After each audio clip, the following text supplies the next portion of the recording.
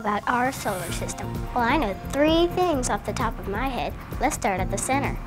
Number one, the sun is the center of and biggest thing in our solar system. Number two, Earth and all of the other planets you've heard of are also part of our solar system. Number three, and because the sun is so huge, all of the planets, including Earth, are pulled towards the sun by gravity. Turns out, though, those three things just barely scratch the surface of what our solar system is all about. But just what is a solar system anyway? A star and all of the objects that orbit around it make up a solar system. Our sun is a yellow star. Eight planets orbit the sun in our solar system. The inner planets, Mercury, Venus, Earth, and Mars, are closer to the sun and have surfaces made of rock. The outer planets, Jupiter, Saturn, Uranus, and Neptune, have surfaces made of gases and are found beyond the asteroid belt. But is that all there is? Let's check with Alan Taylor, an amateur astronomer, and see what he's got to say. We have all these things out there, and they're, they're that we talk about, but they're in these uh, levels of, well, there's the sun, and then there's planets, and you can kind of divide the planets into gas giants and terrestrial planets. And then there are further subdivisions of dwarf planets and asteroids. Well, that's an interesting way to talk about it, but they're things out there, and they have size, and I thought it would be interesting to see, lined up side by side, all of these things, starting with the biggest and going down to the smallest. And so I'd always wanted to see something like that, just out of curiosity. So Alan Taylor decided to create this awesome graphic. It compares the sizes of 88 of the largest known objects in our solar system. 88? In fact, there are hundreds of thousands of objects in our solar system, including moons, asteroids, meteors, and comets. As astronomers continue to observe space with new spacecraft and better telescopes, they find more objects. Even if we just look at the 88 objects Alan put in his graphic, we still have a lot to study. So how do we sort all these objects out? Scientists look for patterns to classify objects. That means they compare the objects and group them together based on similarities or things they have in common, like size or shape or how they move. To be considered a planet, an object must have these three things in common. One, it must be big enough to form a nearly round shape.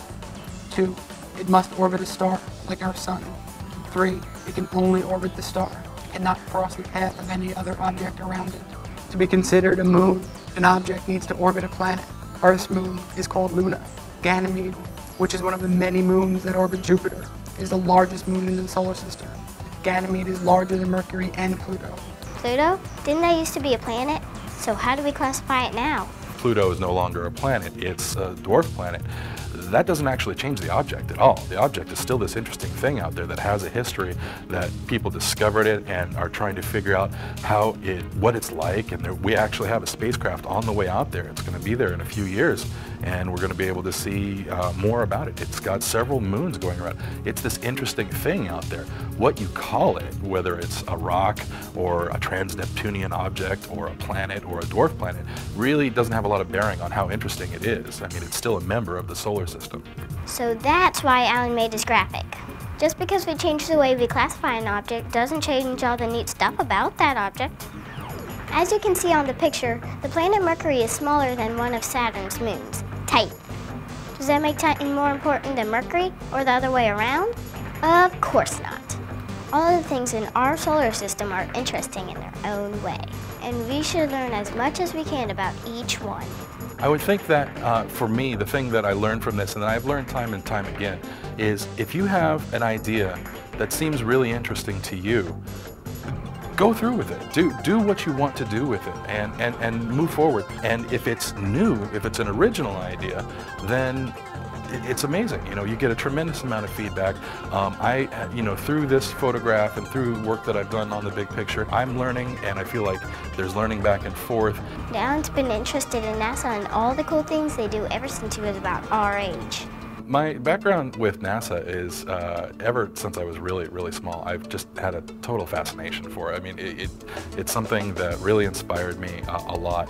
I remember as uh, a small child uh, sending mail uh, in the actual post off to NASA uh, asking them uh, to send me uh, any, any sort of thing that they had, like an image or something like that.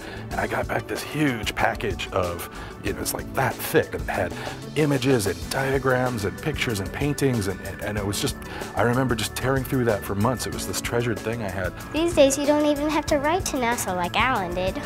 Go to NASA's solar system website and check out everything it has to offer. There's games, interactives, videos, pictures of the planets, and much more. Cool! And just think, every time we discover a new object in the solar system, our world just got a little bit bigger.